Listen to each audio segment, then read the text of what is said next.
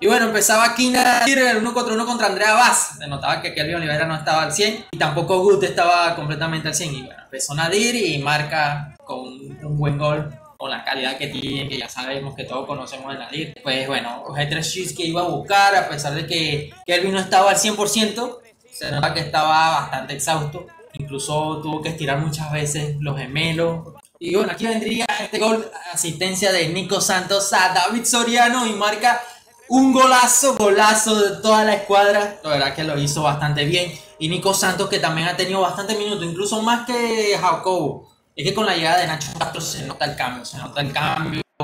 Nadir jugó más atrás donde tiene que ser, en, defensa, llegando al área. No, no, no lo veíamos tanto adelante como, lo como lo veíamos con Juvenal. No, esta vez su posición de central y bueno, cuando tenía la oportunidad se iba hacia adelante. Y bueno, también Nacho Castro trajo a Yedo, Adrián Yedo y, y, le ha dado mucho. Y bueno, también potenció a Nico Santos, que lo vemos bastante participativo, hizo otro pase a Oscar Coy que aprovechó.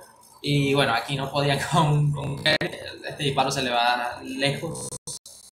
Pero a Nacho Castro le ha dado muchísimo al equipo y eso que solamente llegó para este mundial. No sé si se va a quedar, pero entre tres lados estuvo mal parado la defensa, el portero y marca Pablo Hernández el tercer gol del partido. Aquí ya se veía mucho lo que se venía, que, que, por si no estaba siendo muy superior en el partido. Aquí a pase de Kelvin vendría el otro gol, de, el primer gol de G3 por Wellington. Que bueno, Kelvin, Kelvin es todo, es un tanto de asiste. Kelvin es mucho en este equipo. Pase de primera, la asistencia para el gol y bueno, si no asiste, marca gol. Si no marca gol, asiste y Kelvin es muchísimo a G3 Igual que le hace muy bien Pablo, ahí recorte, chute el rebote lo coge Guti y bueno, marca el quinto gol de, de Porcino. Ya se estaba viendo ya aquí G3 no, no, llegaba tarde, no, no podían, ya no podían, ya no podían, ya estaban muy cansados del equipo de, de Gaules. Y bueno, lamentablemente también se, se lesionó el jugador de G3 creo que fue la rodilla, se le quedó, se le quedó enganchada en el, en el césped y bueno, se lesionó.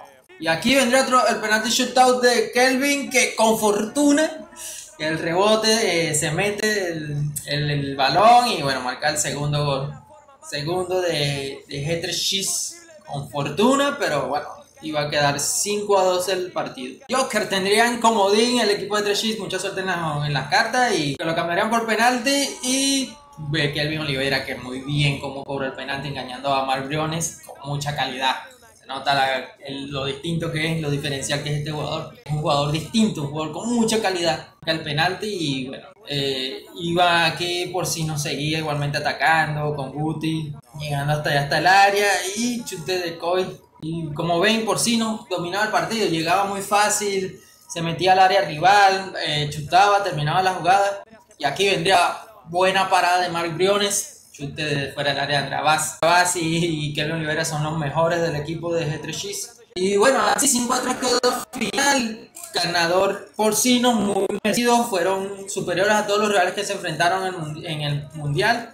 Y éramos justo campeones, justo campeones. En la Final Four tuvimos a Mark en su prime otra vez. Estábamos, extrañábamos mucho a ese Mark Briones bueno, el, MVP de todo el torneo, de este partido, de la Final Four, de todo, se llevó el máximo goleador del torneo. Eh, MVP de la final y MVP también del torneo se lleva, creo que son 50 mil dólares por, por quedar como mejor jugador del torneo. Y bueno, es un tremendo descubrimiento. Y yo lo digo descubrimiento porque tal vez todos los que ven Fútbol 7 ya lo conocían desde hace mucho tiempo, pero a la mayoría, sabemos que es así, la mayoría que vemos Kingsley no lo sabíamos de él. Nosotros no, no muchos no conocíamos a Kelvin Olivera, pero bueno, cuando se, se presentó de que iba a ser, iba a jugar con Henry y que era el balón de oro de fútbol 7, que era el mejor jugador, entonces todos quedamos expectantes, ahí donde empezamos a conocerlo y después con el mundial que hizo, con tanta repercusión que tiene este torneo, la mayoría, todos, muchos ya lo, conocieron y ahora todo el mundo sabe quién es Kelvin Oliveira. Esto le sirve para, para darle el reconocimiento que se merece este crack es el mejor jugador de, de fútbol 7 del mundo y se notó, lo demostró, fue una bestia.